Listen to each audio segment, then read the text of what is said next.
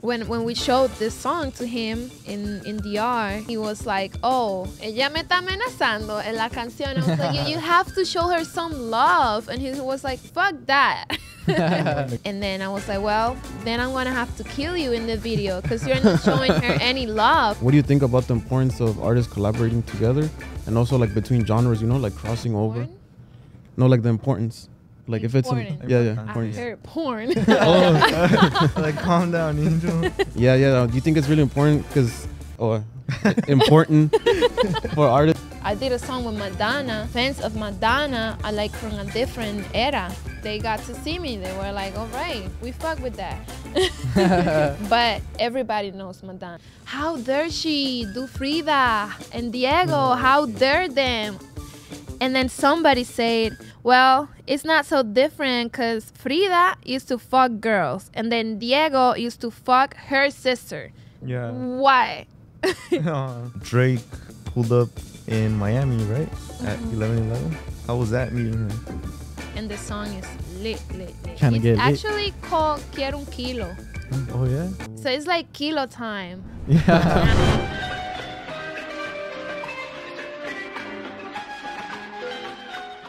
What's up, guys? Welcome back to another Agushto Papa podcast. As you What guys up? can see, we're in a new set. We are here at Sony Studios in Culver City with a very special guest, someone we never thought we'd ever interview. Honestly, Yup. never, but it's an honor Yeah. for her to We'll be. give a round of applause for Tokischa. Hola. Hey, we're really excited to have you here. Um, you know, thank you for giving us the time. Thank you to everybody at Sony that lent us the space, that thought of us for this interview. Um, you know, you guys are releasing this new single, uh, Kilos Amor, and um, It was a really Yeah. badass Yeah. song. it was a it was a badass song. It was a uh, collaboration with you and Nata. Obviously, uh, it's a corrido tombado. It's something different from the genre that you're used to, and maybe you could talk a little bit of how the creative process of making the song was, you know, come about. Did you like this song? Well, yeah, I, for, well, for me, mhm. He that liked was it. like he loved fir- it. He loved yeah, it. like I played that like 40 times. But um, one thing about me is like for those that don't know, I'm, I'm a huge fan of Nata, and that's when I found out about you. So when I found out about like this interview, I started doing research on you, Mhm. and then that's when I started listening to your other music, and I was like, what the hell, like Anuel, like Rosalia. Rosalia and, And I was like, Madonna too, which she's an icon. Oh, so, Madonna. uh, I mean, like that's that's pretty that's pretty amazing. Thank you. And yeah, I think this this song with Nata is very special for me. I'm a big fan of Nata too, and I really like what he's been doing. And also, I'm a, I'm like, um, I appreciate him as a person too, cause he's just like so sweet and and like hanging out with him is like always so much fun.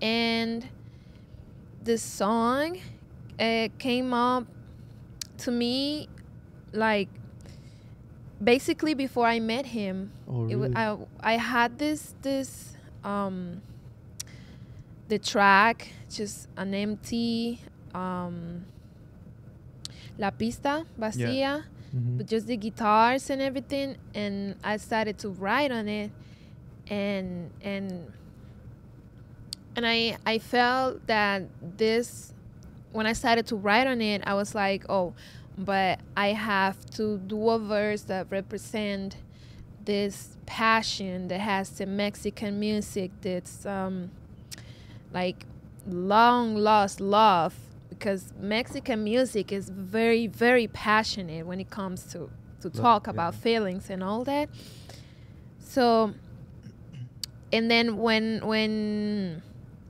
when when we showed this song to him in in DR and then he was like oh ella me está amenazando en la canción I was like you, you have to show her some love and he was like fuck that against. he didn't want to show her love in the song. Like he was like, "Oh, tú me estás amenazando, pues vete." And I was like, I was so pissed. I was like, "But she's not even.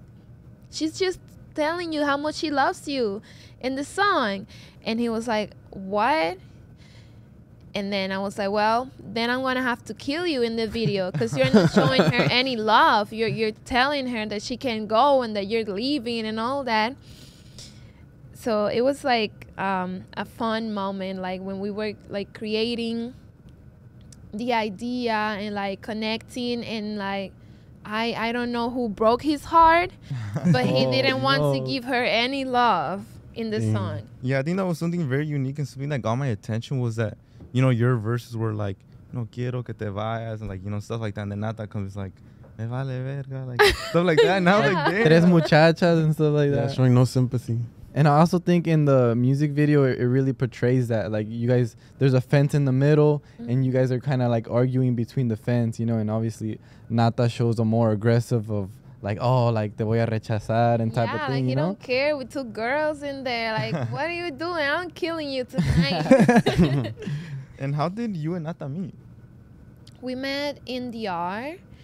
Um, I have no idea who arranged it, but they Showed up. did. And uh, after, of course, after I made the song, and then we met in the studio, and he really liked it, and he he started to you know work on his verse, and he was like he wanted to change the guitars and like give it like you know like his vibe. Yeah, the, The tumbado sound, how they yeah. say. So yeah, and we've we've hang out. We've we've been in like same festivals in Mexico a few times, and yeah, And how do you like Mexico? Because I do know that you guys shot the music video in Mexico City, right? yeah. How do you like? I love Mexico. I love it.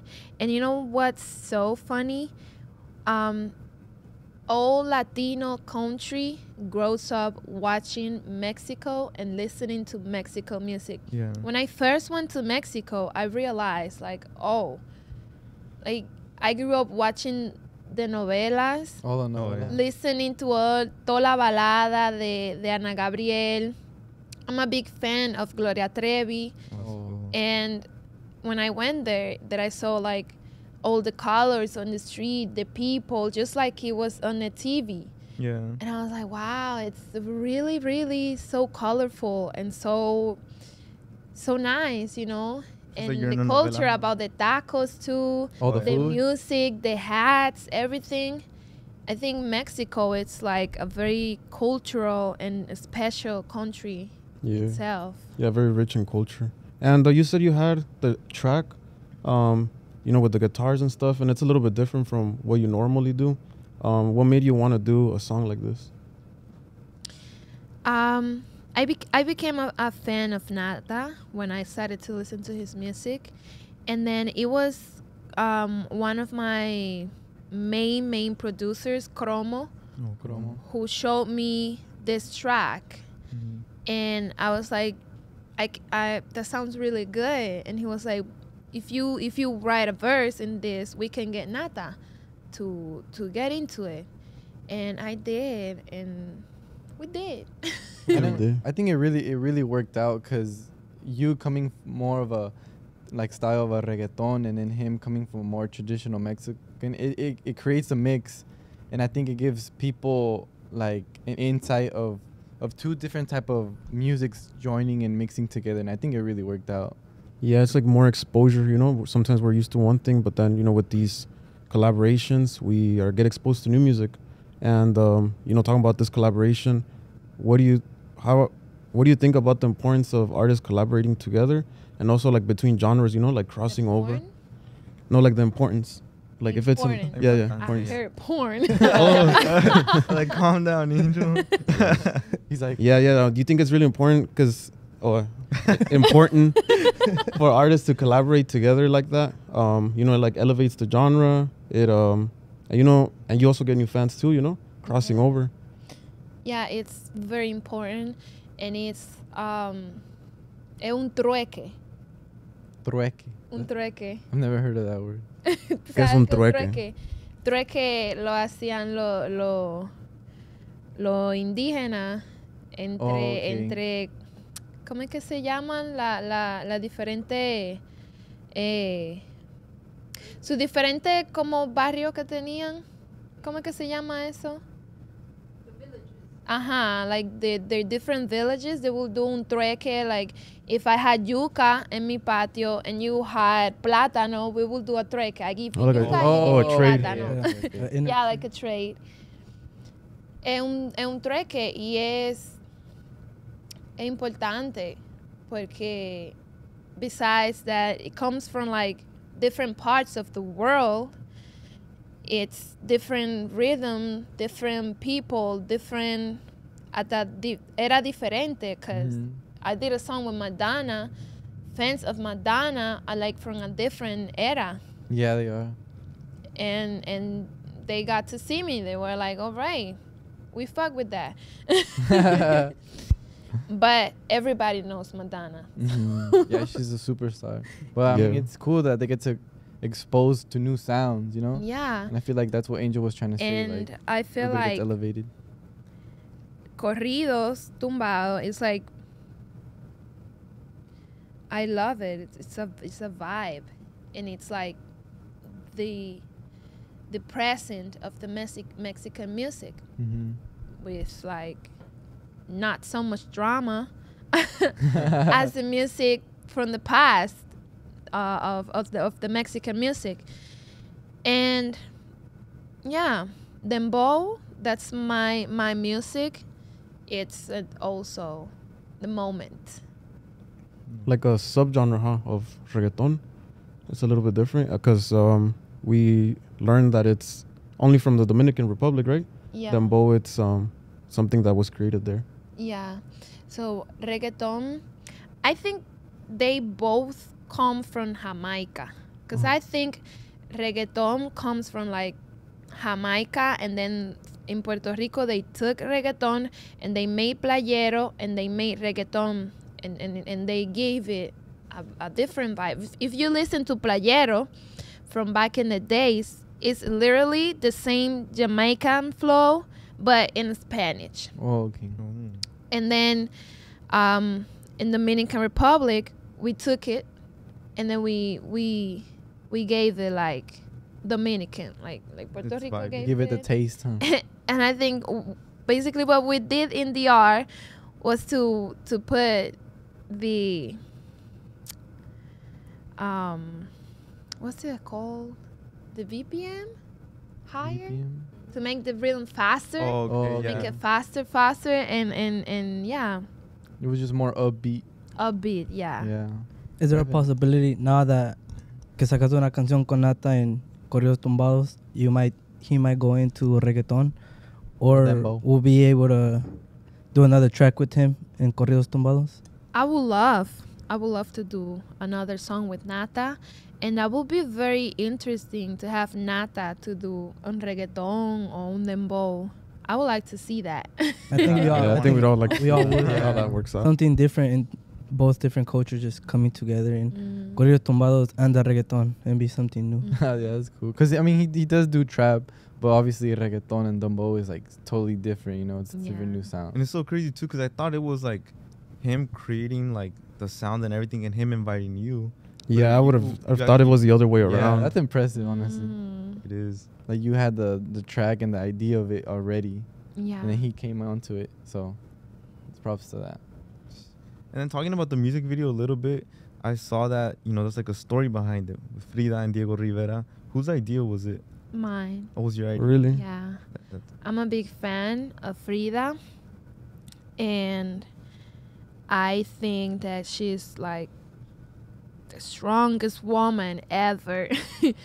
when you talk about arts, she used to be so strong, and she made the best out of her pain. Mhm. She had a lot of physical pain Yeah. and she made great art out of it and she had this crazy love um she and diego and she was so passionate about it and i think it's so inspiring and and it has a beautiful message of like making the great out of what you have Yeah. even though if it's painful. So yeah, I wanted to. I got really inspired with by that, and then I saw the other day that people were like, "Oh, how dare she? How dare she do Frida and Diego? Oh, how okay. dare them? And then somebody said, well, it's not so different because Frida used to fuck girls, and then Diego used to fuck her sister. So, so, so, Yeah. why? Uh, you know so like they were just they were great artist, artists but they were rock stars too they were wild did crazy shit, huh? yeah it's not like they were praying and, and, and all that. Yeah, and talking about that, like, how do you deal with the criticism and the hate that your music gets? um easy. I i see it you know obviously but i don't absorb it. I don't i don't let it like get into me into my head into my feelings because it's it's not relevant it's not something that's gonna mm, you know like fit me you Yeah. know but if it's love i absorb it because obviously love will make you feel good Yeah. but the hate even though it counts because Mhm. it, it, it when they put a hating comment it goes it gets more attention Yeah. that's so weird when somebody make a hate comment or it's talking bad about something it gets more comments more likes and more views than when people is showing you love Yeah, That's crazy. Really weird. and that's so weird just the how the way the internet is, huh? Because if someone says, "Hey, you know, this song is awesome," and you know, like those fire emojis, I might get like two likes, and mm-hmm. someone negative comment, yeah, it just starts Yeah. to. And you said it didn't get to you, but at one point did it like when starting your career and you got hate, did that get to you? Or you just never really like let it get to you? Mm, No. The only moment when I started my career that I felt hurt was when I needed support from Mm. people Oh. that I really, really needed that Mhm. support. Like, I need this, um, I need this, like, I need you to help me shoot this video.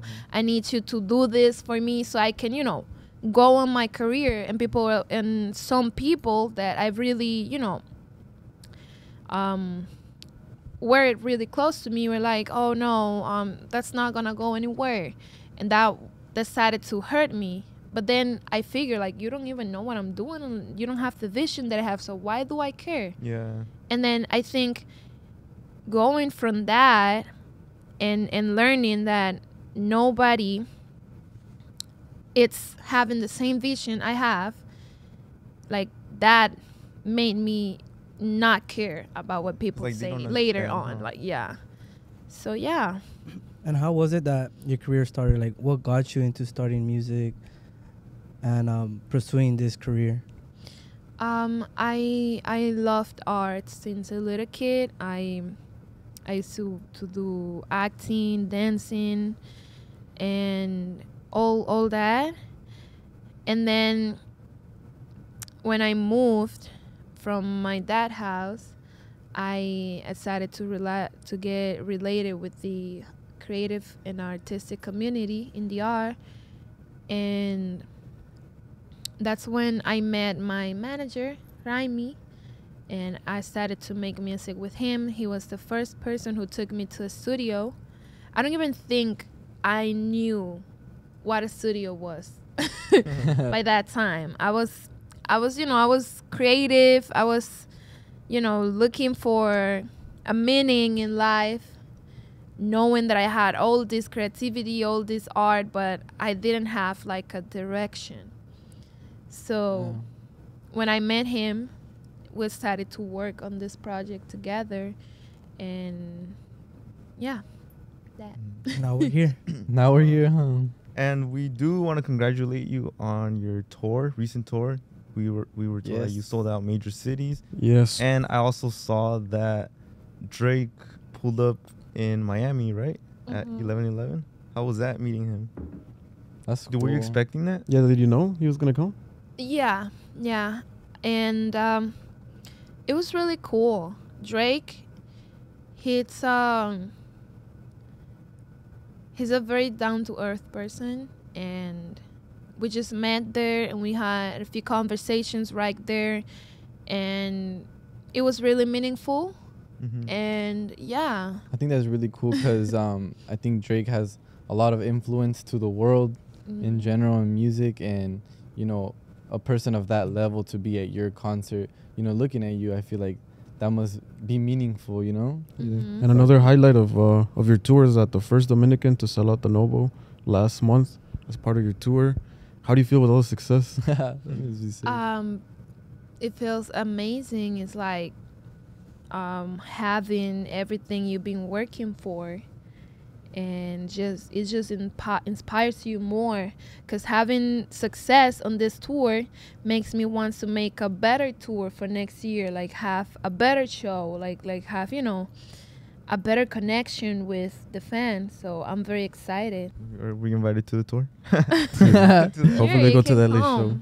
I think it'd be very different for us. Huh? We don't think we've ever been to a concert like that. no, it Yeah, would be no. it would I be saw a different I saw some clips that went probably went viral on TikTok.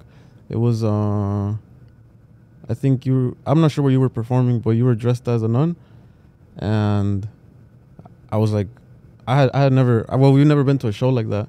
So we'll see. It's gonna it be was in Halloween. For for Halloween month, I was dressing up for, the shows. every show. Oh, that's see. For Halloween one. We were too. yeah, we were we were doing that for our podcast too, but But yeah. I mean that'd be cool just to pull up and you know feel the energy of the concert because like you said it's something different, and then the it's a more upbeat dembo. Is, am I saying it right? Dembo. Yeah, them both. Dumbo. Dembo. And yeah. So you had started uh, with the plans for the next tour with the success of this one. Yeah. What can people expect for next year? For next year, I don't know. Um a lot of like like a like a, a little I want to make like a little movie for the tour. So it's going to be really interesting and kind of weird. what do you mean, like a little movie? like a little movie like A documentary? no like like like a live theater piece of show Well, like at the beginning. i don't know it's weird We have to have wait and we have have to to wait wait and and we'll find out. yeah, and yeah, and talking about that, um, is there any place where you're like, I want to perform there one day? um You know, I want to have you know, sold out every stadium every, Every stadium. stadium, huh? yeah todos los estadios de todos los lados Are we gonna be expecting any new music coming out pretty soon? yeah um i have a new song coming out really soon with um martinez brothers you know martinez brothers Not really. You will know We will though. like we will know Oh, now. we but they're like iconic um djs Oh man. do música electrónica Oh, all That's- around the world and they're from puerto rico right Yeah, well, I They're lit, lit, lit, lit. And the song is lit, lit, lit. Tryna it's get lit. actually called Quiero un kilo. Oh yeah. So it's like kilo time. Yeah. Yeah. Where the Oh, kilos at? kilo, it's kilo time. The amor, amor, no. no. Eso sí, no. Well, um, we want to thank you so much for your time. We know you have a very busy day today. Um, we want to thank you for the opportunity because we never thought we would be like interviewing yeah. you. Super We want to amazing. thank Sony and your team. And is there anything else you would like to say, you know, before we wrap up this podcast, like to the fans? I'm going to Mexico. I have a show in Mexico on the 3rd, right? Just thirty. So I'm going to be there. I'm- Voy para México el 3. Y Un festival. es un festival, ¿verdad? Ujú. A ver si nos invitan. Ah, vamos. okay, it's on Vamos. camera. Ya nos invitó. Yeah. guys. Well, thank you so much for watching to the end. If you guys enjoyed this episode, make sure you guys give us a thumbs up, comment down below. Hopefully, in the future, we can film a longer podcast. You know, right now it's More just in like, uh, depth. in depth, getting more into like, getting more to know you. Yeah. But thank you so much once again, and um, Yeah. Thank you to everybody. Thank you to Sony. Thank you for your time and your, and you know your answers. And we'll see you guys soon. Por